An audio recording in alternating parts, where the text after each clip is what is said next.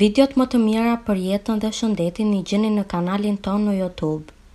Bëni subscribe për të mos humbur videot më të reja.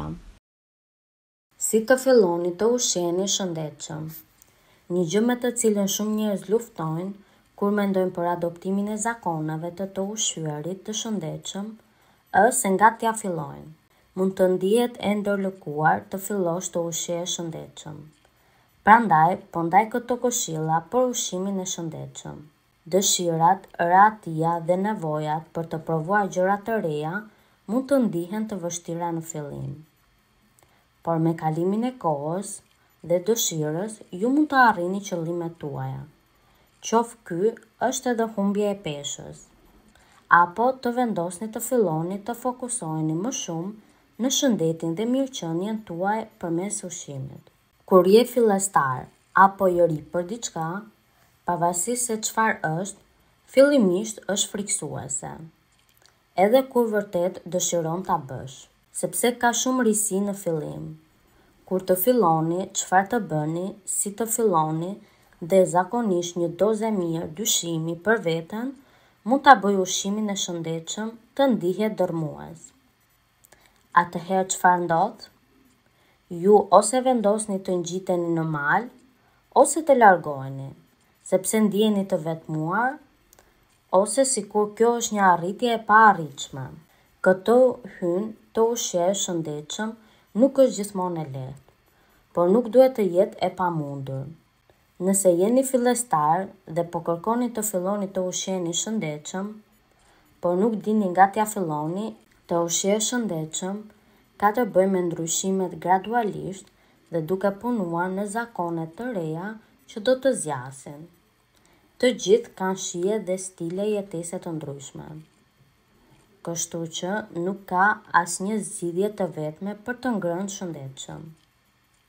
Kjo është arsyeja pse unë kam përpiluar dhjetë këshilla për fillestarët që mund t'ju ndihmojnë të bëni zgjedhje më të shëndetshme pa u ndjerë të mbingarkuar ose të privuar. Shmanguni ushqimet shumë të përpunuara. Duke u larguar nga fokusi në ushqime të vërteta të plota, ne vërtet duam të shmangim ose minimizojmë ushqimet shumë të përpunuara. Ushqimet shumë të përpunuara janë substanca të ngjashme me ushqimin që prodhohet në fabrika dhe krijohen për të eksituar shijen tuaj, por jo për të ushqyer trupin tuaj. Heqja e ushqimeve të përpunuara është padyshim një nga gjërat më të vështira për t'u bërë kur filloni udhëtimin tuaj të ushqimit të shëndetshëm. Ekzistojnë lloje të ndryshme të ushqimeve të përpunuara. Për shembull, tërshëra është një ushqim i përpunuar lehtë, siç është buka ose perimet e ngrira. Por, këto nuk janë ushqimet e përpunuara për të cilat do të shqetësohesha. Ushqimet e përpunuara të cilave po i referohem janë ushqimet shumë të përpunuara. Ato në fakt nuk janë fare ushqim dhe disi arrijnë të mbushin shumicën e rafteve në dyqanet ushqimore. Këto janë substanca të ngjashme me ushqimin që janë të pavlefshme nga ana ushqyese, që do të thotë se ato nuk ofrojnë asnjë vlerë ushqyese dhe janë shumë të pakëndshme kur bëhet fjala për t'u ndjerë të ushqyer dhe të kënaqur nga vakti juaj. Këto janë ushqime që vijnë në paketime dhe qëndrojnë në rafte me vite. Eksperimentoni me balancën tuaj të makronutrientëve.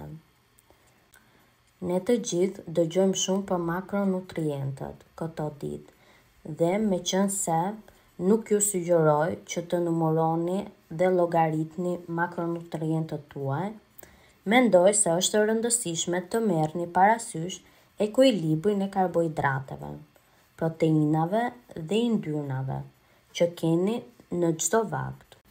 Nëse keni tendencë të keni një dietë të pasur me karbohidrate, thjesht shtimi i proteinave dhe yndyrnave të shëndetshme me vaktet tuaja mund t'ju ndihmojnë vërtet të ndiheni të kënaqur dhe të ngopur pasi të keni mbaruar së ngrëni, gjë që gjithashtu mund të përcaktojë se kur dhe çfarë dëshironi të hani më pas?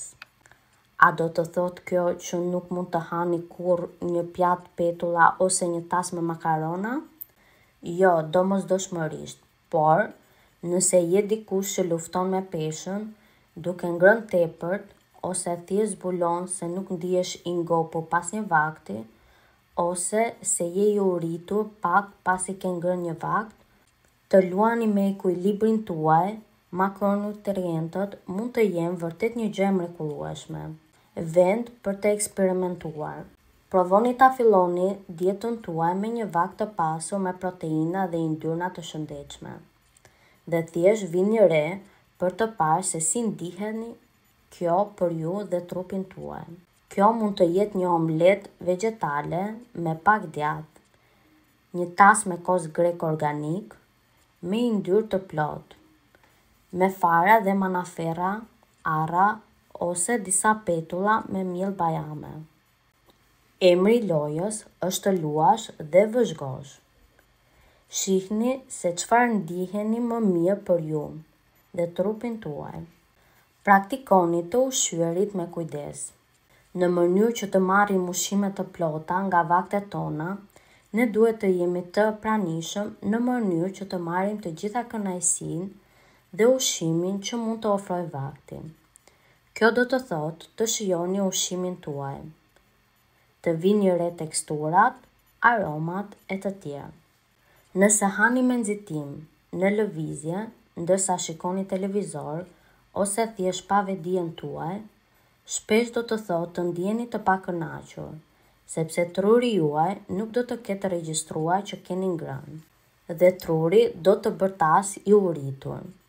Pastaj, ju mbeteni duke menduar se keni një problem mbingrënie, vullneti, kur me të vërtetë, keni thjesht një problem ndërgjegjësimi.